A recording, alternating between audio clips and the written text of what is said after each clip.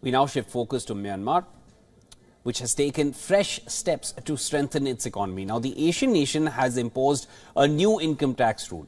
Those Myanmar nationals who are working abroad are now subjected to 2% income tax. And this move has raised fears among employers of appearing to collaborate with Myanmar's military government.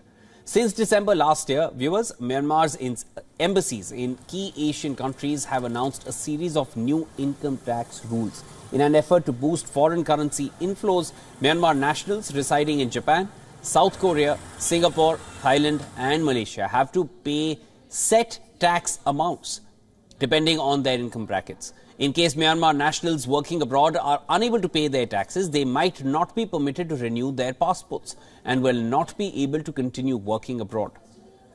Now, after the military took over who took control of Myanmar's government in 2021, human rights experts expressed their concerns that taxes paid by businesses and workers in Myanmar will be used by the military junta, which in return will contribute to a crackdown on pro democracy forces in the nation.